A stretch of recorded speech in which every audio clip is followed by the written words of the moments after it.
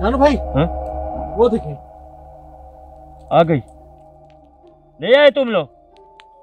चलो तुम तुम साइड पे हटो। चलो चलो चलो चलो।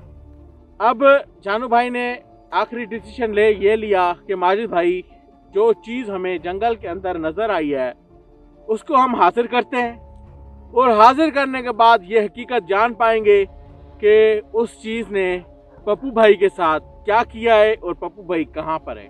और हमें उम्मीद है कि सुबह जब हमें इनके घर वालों की कॉल आएगी, उन भाइयों की जब कॉल आएगी, तब हमें यही सुनने को मिलेगा कि हमारा बंदा वापस घर आ गया है।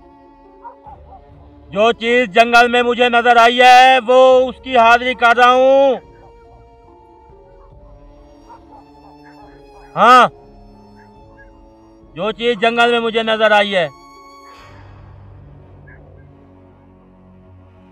हाँ उसको ले आओ।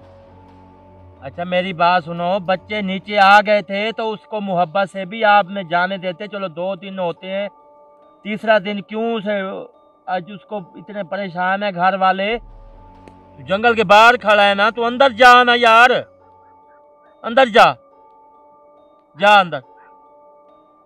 ऐसे घूमता। घूमता घूमता घूमता घूमता।